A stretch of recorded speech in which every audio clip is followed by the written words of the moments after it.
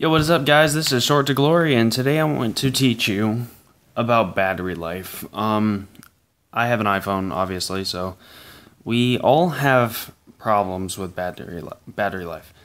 Um, it's not necessarily a problem for most, but there are a lot of people that get their percentages to like 20% and then the phone dies. Today I want to teach people how to fix that.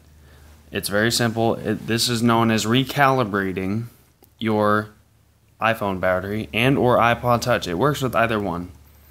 So what you want to do is first you want to oh, hold on. Okay.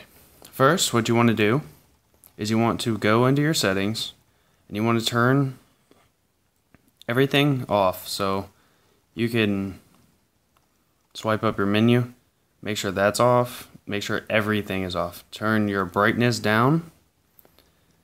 Um just make sure that everything is like as low as you can get it. You don't want it high at all. Um so what you'll do is you'll turn your music playlist on, you'll press you'll press your first song and hit shuffle. You'll set it down and wait for it to die. Once it dies, you're going to charge it up all the way without touching it. Once it hits 100%, then you um that should be it. That should be about it for the recalibration. Um, if it still dies on like 5%, 20%, 4%, 3%, whatever it dies on, it it just depends on how bad it is. Um, mine used to die on 3%. It doesn't do that anymore. Um, it works quite effectively now. No, I just did that. Oh well. Um, this that is known as recalibrating your iPod Touch battery. This will give you better battery life. This will make your frustrations go away. Um, I've done this with every iDevice that I've had. I've had iPod. I've had every generation of iPod. Um, three different types of iPhones. I've had the 4S, the 5, and this one, which is this one's the 6. And I've I haven't had any problems since I've recalibrated the battery. If it does not work the first time, do it again.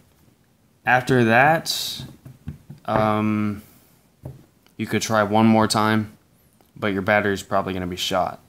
But make sure that when you do this, everything is off. And um,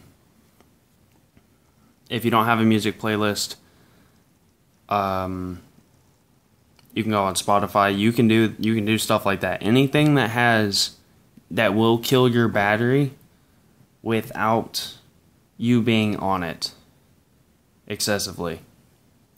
And don't touch it while you're charging it because then it will not work at all. Um, that's what causes calibration issues. Whenever somebody has their phone on a charger and they decide to get on it, play a game, anything that can kill the battery while it's charging the battery will mess up the timing and the calibration of the battery, therefore causing worse battery life than what you have now. Um, so that's it, and I hope this helps.